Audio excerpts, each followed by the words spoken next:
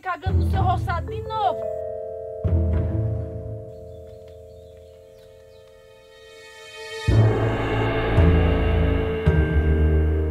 É a besta fera do filho da vizinha de novo. Mas deixa o cabelo tá guardado.